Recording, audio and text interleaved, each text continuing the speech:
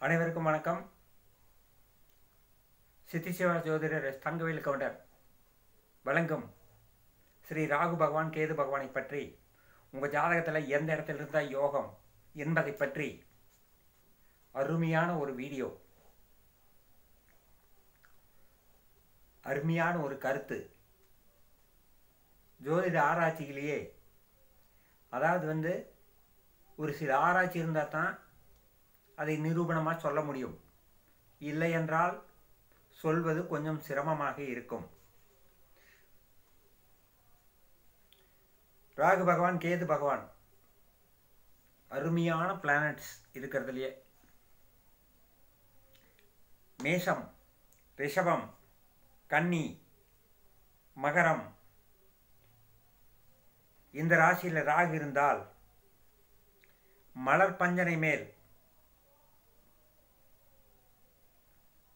துயிலக்கூடிய ராஜயோகம் உண்டாகும். உலகத்தோர் புகழ்வார்கள். லக்கினம் நான்கு ஏழு பத்து எனும் கேந்திரஸ்தானங்களில் அவர் இருக்கிற இடத்துலேருந்து கணக்கு வச்சுக்கணும். இடைவிடாமல் கிரகங்கள் இருந்தால் பர்வத யோகம் என பெயரும் உண்டு. அதிகாரமிக்க ராஜயோகம் கிடைக்கும். இந்த ராகு கேது பகவானால. கலியுகத்திலே மனிதர்களுக்கு இந்த உலகத்தில் ராகு நல்ல அதிர்ஷ்டத்தை தரக்கூடிய யோகக்காரகர் என்று பெயர்.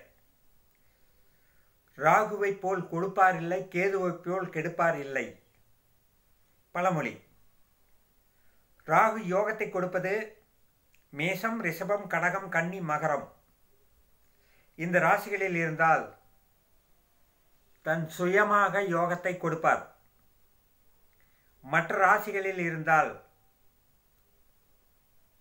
சிறப்பான யோகம் சுமாராகத்தான் இருக்கும். ராகு அடுத்த கிரகத்தோட கூடியோ பார்க்கப்பட்டோ இருந்தால் அதில் பலமிகுந்த கிரகம் எது? அதற்கு தகுந்தாற்போல் பலனை கொடுப்பார். ராகு கேதுக்கள் தாங்கள் இருந்த ராசி அதிபதி தன்னுடன் சேர்ந்த கிரகம் தன்னை பார்த்தவர்களின் சுபாவத்துக்கு ஏற்ற பலனைத்தான் தருவார்கள். அந்த மாதிரி ஒரு அமைப்பு. மேசராசியிலே ராகு இருந்தால் ராகு இருந்த திசை நடத்தினால் மகோத்சவம் மங்களவாத்தியம் பூமி கிடைக்கும். அரசரால புகழ்ச்சி கிடைக்கும். மனை புத்திரர் உறவினர் சௌக்கியம் உண்டாகும். ரிஷபராசியிலே இருந்து ராகு பகவான் திசை நடத்தினால் பூமி கிடைக்கும் அதிகமாக படிப்பு கிடைக்கும். நல்ல சிறப்பான பொருள் சேர்க்கை. பசு பூமி தானியம் வஸ்திரம் ஆபரணம் சகல சௌக்கியங்களும் உண்டாகும். மிதுன ராசியிலே இருக்கக்கூடிய ராகு பகவானுடைய திசையில்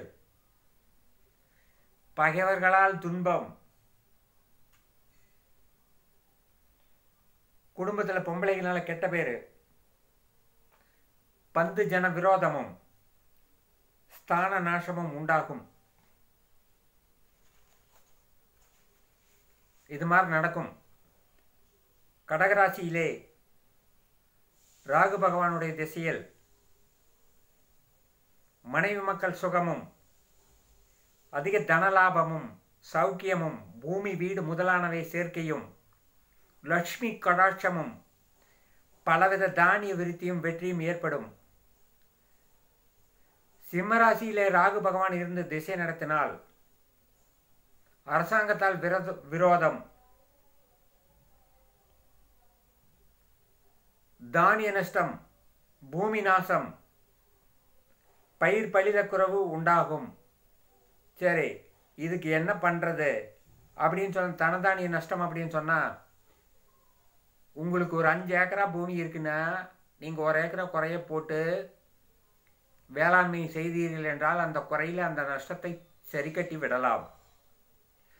சிம்மத்தில் ராகு இருந்து திசை நடத்தணும் உங்களுக்கு பூமி நாசம் என்றால் உங்களுக்கு நீங்கள் அனுபவிக்கக்கூடிய சொத்திலே ஆகாத இடமோ ஆகாத இதோ ஒரு ஒரு சென்டர் ரெண்டு செண்டை இந்த மாதிரி இருந்தது அப்படின்னா நீங்கள் வந்து விலைக்கு வித்துட்டீங்கன்னா அந்த நஷ்டங்கள் சரி கட்டி நல்ல ஒரு அமைப்பை கொடுத்துரும்.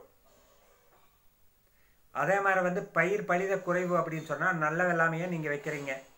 அந்த நல்ல வெள்ளாமை வைக்கிற வேளாண்மை வைக்கிற பொழுது பக்கத்தில் வந்து சும்மா ஒரு பாத்தி ரெண்டு பாத்தி ஏதோ ஒரு இந்த இது இதுக்கு இது போட்டால் அப்படின்னு வந்து நாலு பேர் சொல்லி இந்த சோளம் கம்பு இந்த மாதிரி விதைச்சுட்டு இந்த இது பண்ணி நீங்கள் அந்த வேளாண்மை செஞ்சிங்கன்னா அது வந்து நஷ்டத்தை கொடுக்காது. இது கிராமத்துக்கு உண்டான ஜோசியம். சிட்டிக்கல்ல. கிராமத்துக்கு இப்படி செஞ்சிட்டிங்கன்னா உங்களுக்கு வந்து அந்த பாதிப்பு வரும். அந்த மாதிரி வந்து சொந்த பந்தத்தில் வந்து பகை வரும் தெரிஞ்சால் கொஞ்சம் ஒதுங்கி போய்க்கிறது நல்லது. இது நடக்கும். சிம்மராசியில் ராகு இருந்த திசை நடத்தினால். கன்னிராசியிலே இருக்கும் ராகு பகவானால் பூமி வாங்க முடியும் வீடு கட்ட முடியும். ராஜ நட்பு. யார் ஆகாது நினைக்கிறீங்களோ அவன் தான் வந்து உங்களை வந்து புகழ் புகழ் புகழ்வான். மக்களில் வந்து புகழ்ச்சி சம்சாரத்துக்கு சுகம் தானிய லாபம் உண்டாகும். அந்த மாதிரி கண்ணியில் ராகு இருந்த திசை நடத்தினா நீங்கள் ஏதாவது வந்து விவசாய பொருள் ஏதாவது வந்து வாங்கி வச்சீங்கன்னாக்கா நல்ல லாபம் கிடைக்கும். துளாராசியிலிருந்து ராகு திசை நடத்தினால் பூமி நஷ்டம் பொருள் நஷ்டம் தொழில் அல்லது பூமி விவசாயத்தில் நஷ்டமும் அரசரால் பயம். கொஞ்சம் இடமாற்ற வேண்டியது வந்துடும் பல கஷ்டம் வந்துடும் பிதா சொந்த பந்த ஜனங்களுக்கு பீடை வரும். விருச்சிக ராசியில் வந்து ராகு இருந்து திசை நடத்தினால் நல்ல கௌரவமான ஒரு பொழப்பு. வேண்டாத உரம்பரையெல்லாம் முறையெல்லாம் வந்து சேர்ந்து உங்களை வந்து பயங்கரமாக தூக்குவாங்க. பால் பாக்கியம் பசு பூமி சேர்க்கை. அதிக தனலாபம் எதிரிகளாக சண்டைக்கு வந்ததுன்னா உங்களுக்கு தான் வெற்றி கிடைக்கும். அந்த மாதிரி பலன் நடக்கும். தனுசு ராசியிலிருந்து ராகு பகவான் திசை நடத்தினா சொந்தக்கார பகையாவாங்க. பயங்கரமான வம்பெல்லாம் வரும். கஷ்ட நஷ்டங்கள். சொந்த பந்தம். அதே மாதிரி வந்து அம்மா வழியிலேயும் சண்டை வரும் அப்பா வழியிலேயும் சண்டை வரும் மகர ராசியிலே இருந்து ராகு பகவான் திசை நடத்தினால் சொல்லவே வேண்டியதில்லை. உங்களுக்கு யோகம் கம்முன்னு தூங்கிட்டு இருந்தால் வரும். நல்ல சுகம் நல்ல வீடு அதனால் வந்து பூமி வந்து நீங்கள் நினச்சிங்கன்னா அந்த பூமி வந்து வாங்குற அளவுக்கெல்லாம் அமைப்பு கொடுக்கும். அந்த மாதிரி சொல்ல வேண்டிய ஒரு அமைப்பு உண்டு. கும்பத்தில் ராகு இருந்து திசை நடத்தினா கஷ்டம் வம்பு விளக்கு மனைவிக்கு வந்து கண்டம் மக்களுக்கு வந்து கண்டம் பசுவுக்கு கண்டம் ஏற்படும் உடம்புல வியாதி வந்து ஏற்படும் துன்பமும் கஷ்டமும் இப்படி பலன்கள் உண்டாகும். இது உண்மையான ஜோதிட விதி. மீன ராசியிலே இருந்து ராகு திசை நடத்தினால் கவர்மெண்டால் பயம் திருட்டு பயம் கலகம் சொந்தக்காரர் பந்தக்காரர் வந்து சங்கடம் வரும்.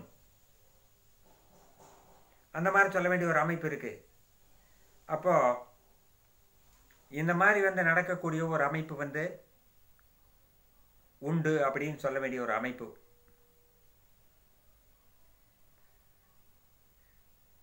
அதனால் நீங்கள் இந்த மாதிரி வந்து ராகு பகவான் இந்த இப்படி இருந்து திசை நடத்தினா ராகு இதுகளுக்கு உண்டான பரிகாரம் உங்களுக்கு தெரிஞ்ச மாதிரி சிம்பிளாக பண்ணிக்கிறது ரொம்ப நல்லது. பயப்பட வேண்டிய அவசியமெல்லாம் கிடையாது. அதற்கு உண்டான சிம்பிளான பரிகாரத்தை வந்து நீங்கள் வந்து உங்கள் ஊரில் இருக்கக்கூடிய குருக்களையோ அல்லது மற்றவர்களையோ கேட்டு செய்து இல்லை என்றால் திருநாகேஸ்வரம் இல்லை என்றால் காளகஸ்தி சென்று பரிகாரம் செய்து வந்தீர்களானால் கெடுபலன் குறையும். அந்த மாதிரி சொல்ல வேண்டிய ஒரு அமைப்பு இருக்குது ராகு கேதுக்கள் இப்படி இருந்தால் இப்படித்தான் பலன் நடக்கும் என்பது விதி. இது அனுபவ பாடம். வீடியோ பிடிச்சா லைக் பண்ணிக்கங்க சப்ஸ்கிரைப் பண்ணிக்கங்க ஷேர் பண்ணிக்கங்க நோட்டிஃபிகேஷன் பண்ணிக்கங்க பெல் ஐக்கனை கிளிக் பண்ணிங்க. மேலும் இன்னும் சிறப்பு வீடியோ இருக்கிறது. சிறப்பு வீடியோவில் வந்து ந- நல்ல பலன்கள் காத்து கொண்டிருக்கிறது. நேரம் கிடைக்கும் போது மட்டும்தான் வீடியோ போட முடியும். நன்றி வணக்கம்.